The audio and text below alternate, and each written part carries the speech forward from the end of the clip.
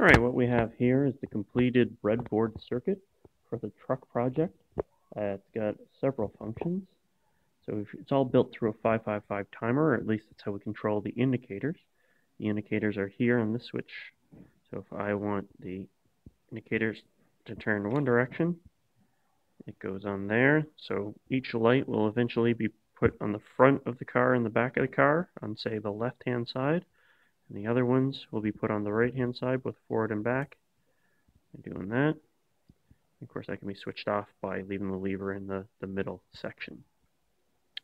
This truck will also have brake lights, so when the brake is pressed, uh, its brake lights will come on. And finally, the last function will be the car horn. It's all rigged up through a uh, 9 volt battery